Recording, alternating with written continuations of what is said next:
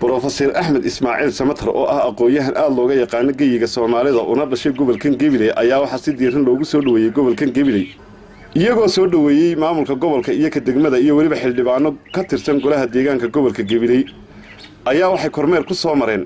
Dugsiyada ay ka socdaan imtixaanada shahaadiga ah halkaasi oo uu ka hadlay brofeseerku wuxuu yidhi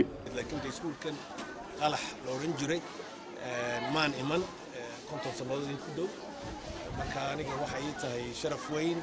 Wadnahayga iyo maskaxdeedana way dhaqaajinaysaa. Haddii aan quwad weyn leeyahay dee intaan sidaa wax walba gacanta u mariyo ayay daarahani wax kale noqon lahayn oo geedi wax kale noqon lahayn oo dhulka wax kale noqon lahaa laakiin dee mucjizada caynkaasa ilaahay u bahaya laakiin dee wixii la qaban karo waan waan qabanaynaa. Anagu inaan ka qayb galo. Waxaa sidoo kale halkaa ka hadlay barasaabka gobolka gabiley iyo weliba xoghayaha fulinta dowladda hoose ee gabiley iyo weliba xildhibaano kale waxayna yidhaahdeen sidan. Maanta halkan waxaa nagu soo booqday brofeser axmed ismaaciil samatar oo runtii dhowaan waddanka yimid kana bilaabay gabiley socodkiisii ugu horreeyey gabiley oo ah de magaaladii goor walba goor goor walba. Mar kasta oo uu yimaado ka bilaaba gabiley tahay koob iyo soddonkii bishii labiyo shanaad labada kun iyo lix iyo tobanka.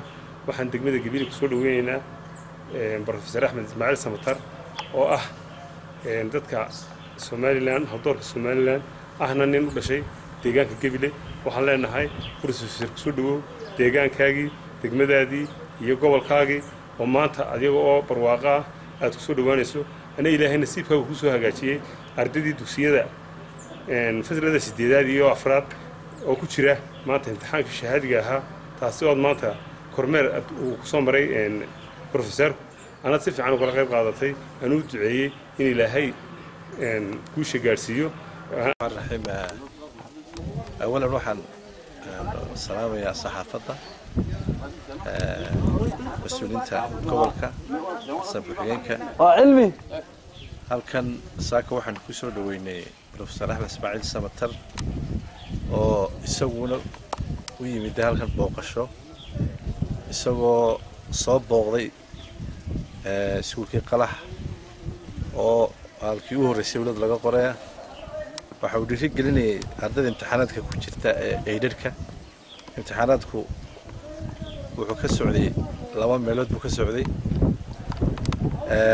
Wuxuu ka socday qalax iyo new gabiley markaa qalax waxaa ku geliyay eydharhka aad baan ugu mahadnaqaynaa brofeserka oo runtii dhiiri geliyey dhalinyartii ama ardaydii waxaan ku soo dhaweynay gobolka.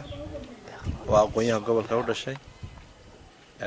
Ma aha markii u horreysay ee uu halkan yimiday laakiin mar walba uu ka yimaado dibadda. Oo halka ugu horreysa uu cagta soo soo dhigo. Waa halkii uu ku dhashay. Waa cabdisalaan maxamed bade bulsha t v gabiley